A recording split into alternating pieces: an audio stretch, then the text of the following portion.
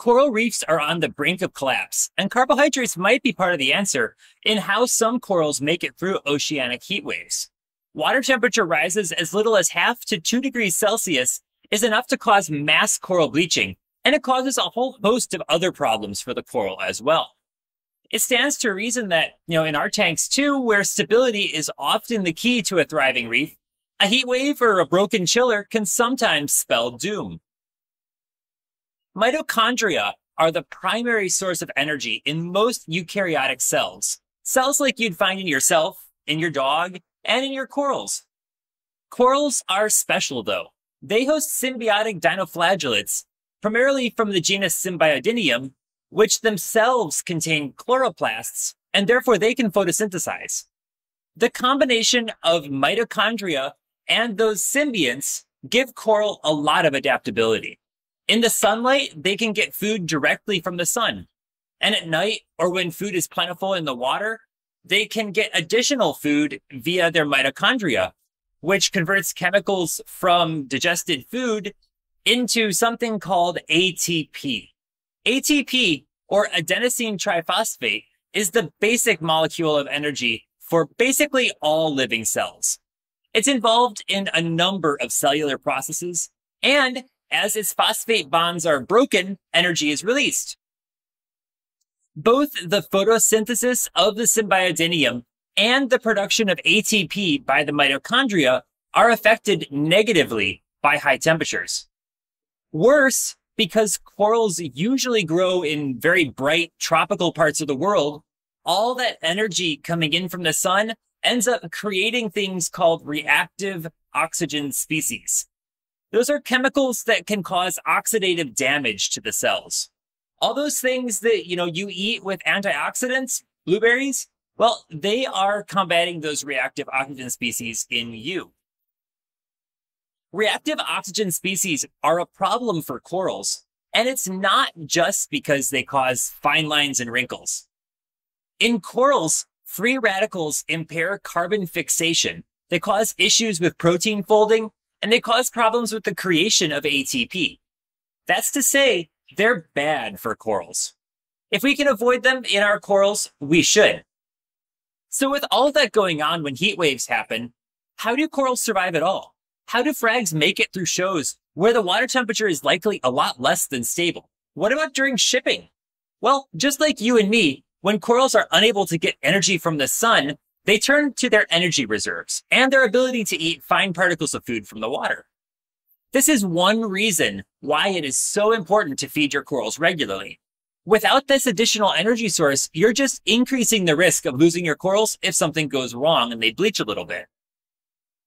Corals can store energy in proteins, in lipids, that's things like wax, fats, oils, and as carbohydrates.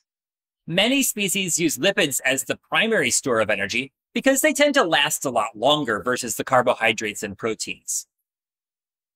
Coral can only get carbohydrates by eating or breaking down its own tissues. Proteins ebb and flow with the season, and lipids are created by the coral itself, but carbs, those must be eaten. If this sounds a lot like a complex balancing act of building up energy before it's needed, then you'd be right. Environmental stress, like a heat wave, throws this balance into disarray. When a coral is exposed to warmer than normal water, its basic energy expenditures, called its basal metabolism, well, they go up. It takes more energy just to exist when the water is warmer. The coral spends all that energy on combating the oxidative stress from those reactive oxygen species. Corals contain genes that can be turned on to do just that. But it all takes raw materials and energy that could otherwise be used for something else. At the same time, heat decreases the coral's ability to absorb nutrients, and it even damages the ability to produce ATP. Push the temperature even higher, and corals can begin partial anaerobic respiration, in addition to their normal aerobic respiration, which leads to significantly depleted energy reserves and leaves the animal in an unsustainable downward spiral. If the water does not cool off quickly while maintaining otherwise perfect parameters, that coral is not going to survive. Once the energy is depleted and oxidative damage is no longer controllable, it's over for the coral. Even if the coral can recover, its ATP stores remain depleted for months.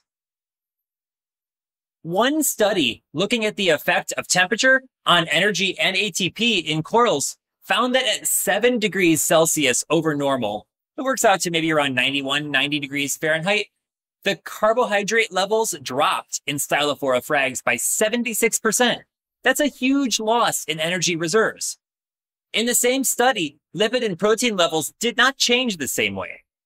In that study, half the corals in that plus seven degree group died. As corals bleach, they not only lose their symbionts, they also lose some of their ability to absorb nutrients from the food that they're still able to eat. This really highlights the importance of feeding our corals. You never know when a heater might break or when a power outage might happen and your chiller won't be running, all leading to a stressful time in your tank.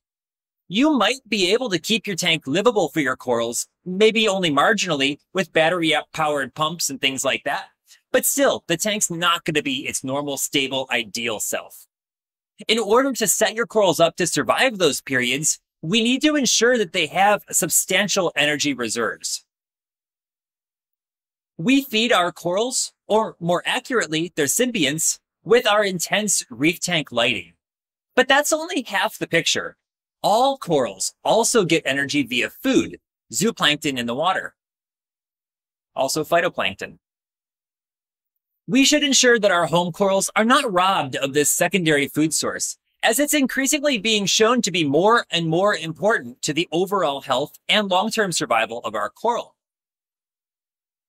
If you would like to learn more about this, I encourage you to check out a paper titled The Reef Building Coral Stylophora pistillata uses stored carbohydrates to maintain ATP levels under thermal stress.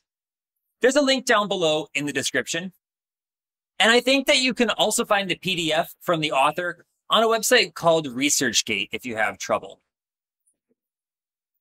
Take a moment to subscribe to my channel. It really does help when you do that. And if you want to get a notification when I post new content, which I'm trying to do more regularly now, then hit that bell as well. But till next time, be kind to each other, stay safe, and have a fantastic day. Bye.